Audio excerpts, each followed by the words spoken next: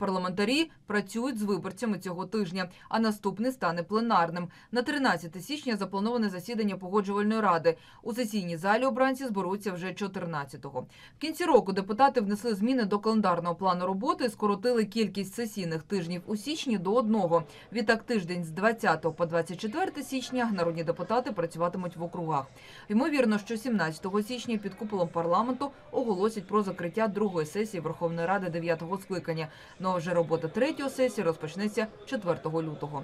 Тим часом з початку року народні обранці вже зареєстрували 5 законопроєктів, зокрема щодо посилення боротьби з корупцією, про державне регулювання азартних ігор та оподаткування доходів від організації казино, а також щодо вдосконалення процедури публічних закупівель. Загалом за 4 місяці роботи Верховної Ради 9-го скликання у парламенті зареєстровано майже тисяча законопроєктів.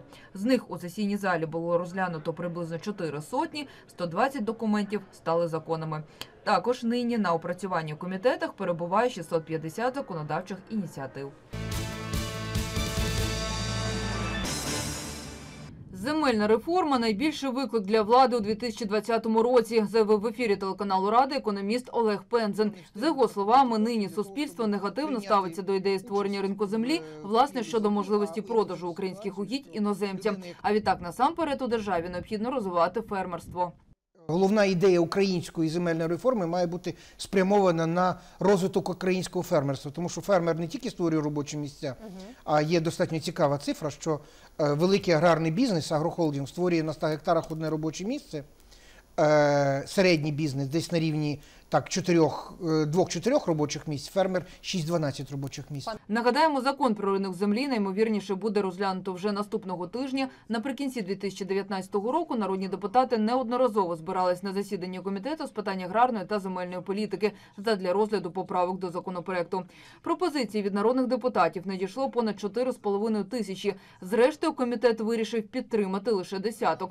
Зокрема, в одні руки продаватимуть не більше як 10 тисяч гектарів. Сільгоспугіддя зможуть купувати лише українці. Продаж земель іноземцям можна дозволити лише після референдуму. У разі ухвалення документа новостворений ринок землі запрацює вже наприкінці цього року.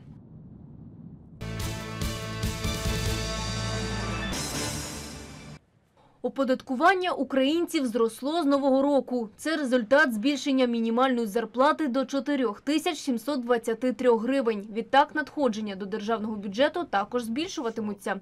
Про це в ефірі телеканалу Рада повідомив юрист Денис Бондар. З 1 січня єдиний соціальний внесок або ж страховий платіж становить майже 1040 гривень. Це на 122 гривні більше ніж торік.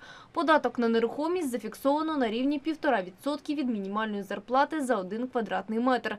Встановлено і нові ставки туристичного збору. Відрахування для внутрішнього туризму становлять майже 24 гривні, а для в'їзного туризму – 236. Зростатимуть у державі і штрафи. Зокрема, покарання за нерозмитнені авто на єврономерах вже становить від 85 тисяч до 170 тисяч гривень. Ще на початку осені в Україні залишалося близько 300 тисяч нерозмитнених машин. Саме е, скільки коштують ті автівки, котрі вони привезли, воно не, взагалі буде рентабельним для того, щоб їх взагалі розмитнювати. Е, Для них, е, я думаю, ліпше буде позбавитися цих автівок і взагалі не розтоможувати.